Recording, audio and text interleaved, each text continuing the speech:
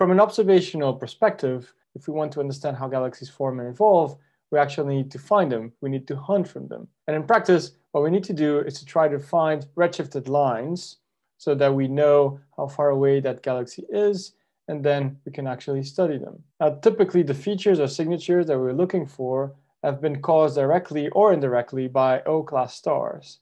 The reason for this is because O-class stars are the brightest, they're the most luminous, and they lead to the easiest signatures to find. But on top of that, the presence of O-class stars imply that the galaxy is active. It's still forming stars, and also some of the signatures of O-class stars can also be mimicked by supermassive black holes. Here at Lancaster, one of the techniques that we use is to actually build filters that are only sensitive to light at specific wavelengths, and then putting them on top of telescopes like the INT or the Subaru telescope to actually map the universe and try to look for redshifted Lyman alpha emission. And if you recall section five, when we look at the hydrogen atom, Lyman alpha has a rest frame wavelength of 1216. So if it redshifts to something like 4000 Angstrom, we're looking at redshift about 2.2. If it redshifts all the way to almost 9000, we're looking at redshifts six and seven.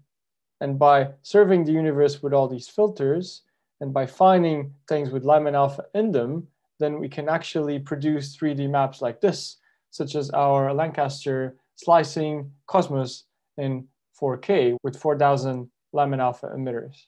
Looking for distant sources can also be done with broader filters and also looking at continuum features. And this is particularly useful if we're looking at some of the highest, most distant sources.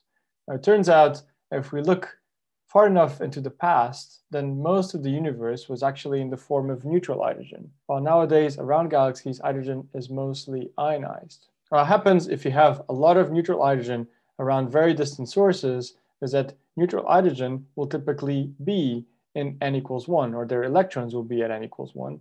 And that means that if those atoms receive a wavelength of Lyman alpha or something higher, they will very easily get excited.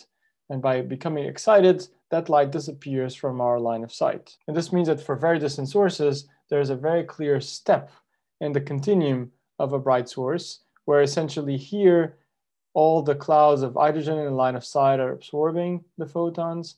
And then once we reach the wavelengths that are redder than the Lyman alpha, then all the continuum gets true. And the practicality of using this, which is called the Lyman break, is that if you just develop a broadband filter that captures, say, this side of the spectrum and another one that captures this side of the spectrum, then you can actually compare both. And on this side, you will see nothing or very, very faint emission, and here it becomes very bright. And this is how, for example, people find the most distant quasars or the most distant supermassive black holes. These quasars are now found routinely up to redshifts of seven or even higher, and these discoveries have been really impressive, but perhaps even unexpected, especially because when we study these supermassive black holes, even though we're looking at the universe when it was only less than 1 billion years old, some of these black holes have masses of something like 3 billion solar masses. The black hole in the center of our galaxy, after almost 14 billion years, contains something like 4 times 10 to the 6. Yet the beginning, almost at the beginning of the universe, there were supermassive black holes that were a thousand times more massive. And also, even at the beginning of the universe, where we expect chemistry to be very poor, there's not a lot of time for stars to produce the elements. At least around these supermassive black holes, we can see all the kinds of elements that are typical in the sun. And therefore, at least in the accretion disks, the supermassive black holes, then chemistry is already incredibly rich. After the CMB, the universe became fully neutral. We can see evidence of that from the CMB. But at some point, essentially around 13 billion years or a little bit more, the universe actually changed. It transitioned from being fully neutral to fully ionized. And this refers to specifically hydrogen atoms outside galaxies. Understanding this last major phase transition of the universe from neutral to ionized is actually one of the big unsolved problems in astrophysics. We understand the ingredients and the things that we require. For example, to ionize hydrogen, we know that we need energies in excess of 13.6 electron volts. That's well into the ultraviolet, something like 912 angstroms or shorter wavelengths. And we know that massive stars, but also supermassive black holes can actually produce that sort of radiation. However, it isn't clear exactly which sources actually contribute to reionization and also how long it actually took. And therefore, this is one of the most active areas currently in astrophysics. And the big contenders are all explained here, perhaps some of the first galaxies like CR7.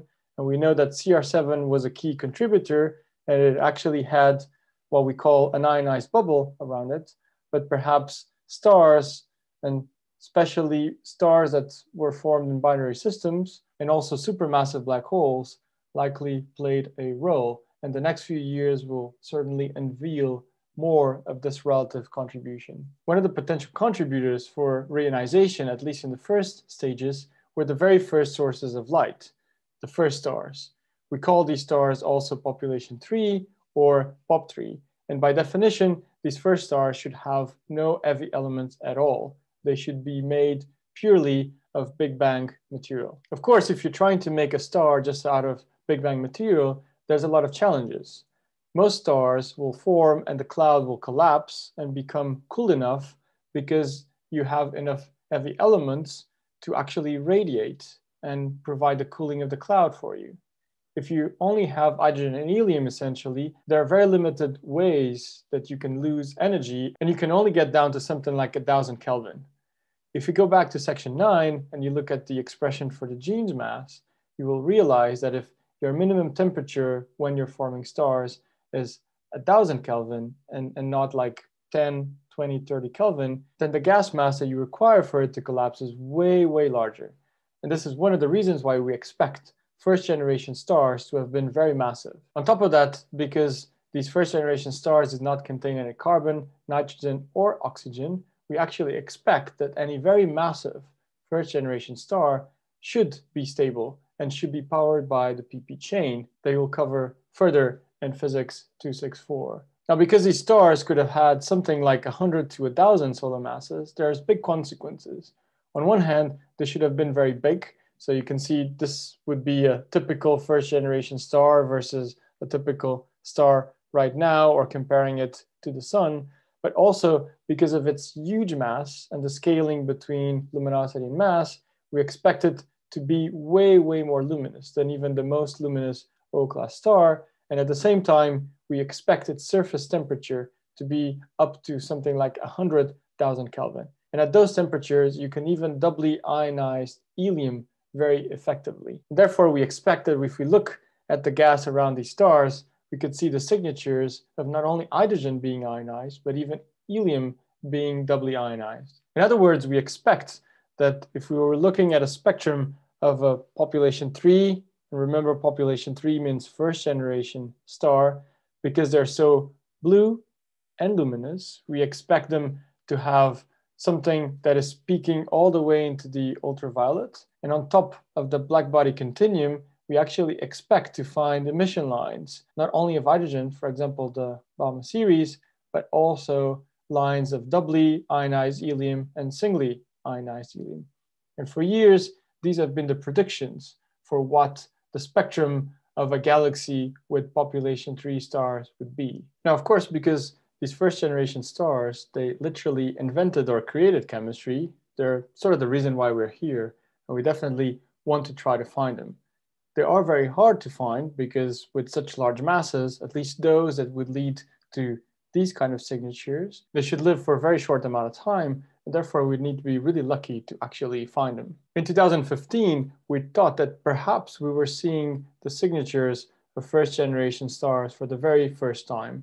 This was when we discovered the galaxy that we named Cosmos Redshift 7. So this is the galaxy that I discovered together with Jorryt Matthee, Sergio Santos and Behnam Darvish, all of them now graduated and with their own PhDs. And this was an incredibly luminous galaxy. It's still the brightest galaxy in the early universe.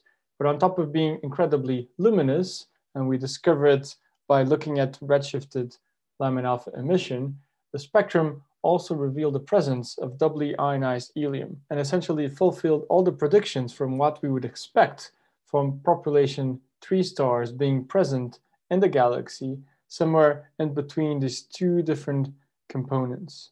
Now, since then, a lot of papers have been written. The paper has been cited almost 300 times, and 30 different papers have been written looking at the source and actually arguing for and against it being population three stars, being even the most exotic kind of black hole that you can get when a black hole forms without ever forming a star. So it's something that people call a direct collapse black hole. But with the research that we've been doing over the last few years, we can now tell that the gas within the galaxy is very low in metals, but it's definitely not pristine.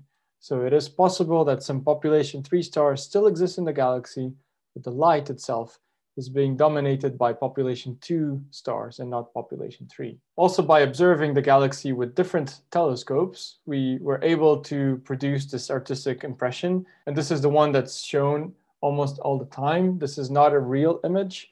This is the real image and real data with the different three components that we now confirmed independently. But if we had a telescope of say a thousand kilometers in space and pointed at CR7, we would probably start seeing all these details. And we believe that if there are some population three stars or an incredibly exotic supermassive black hole, it may well be somewhere in between components A and B. Finally, very recently, by using the ALMA telescope and pointing it at CR7, we're actually able to image the galaxy in sort of three dimensions and discover tiny traces of ionized carbon. By using ionized carbon and actually using the Doppler effect, we can even tell which components are sort of redshifted and which components are being blue shifted. So we can think that this component is essentially closer to us and these two are further away and actually build a 3D map of the galaxy, something that existed 13 billion years ago. But because there's at least traces of carbon everywhere in the galaxy, then the hunt of this pure population 3 dominated galaxy is definitely still on. So this is it for section 14, where we had a look at some of the tools, the important tools that you need to understand how galaxies form and evolve. Most of it relies on the knowledge that we covered in sections 8 and 9. So if you're not so familiar with those tools, I would advise you to go back and recap a little bit or send me questions if you have. And then apart from the tools, we started looking at the very first stages of the universe, how some of the first galaxies formed, the epoch of reionization, how we can find distant galaxies, and also as an example of a major discovery and what it means, I also told you a little bit about CR7. But if you have more questions, please just get in touch. And as always, in the lecture notes, you will find lots of questions at the end that I would recommend you attempt.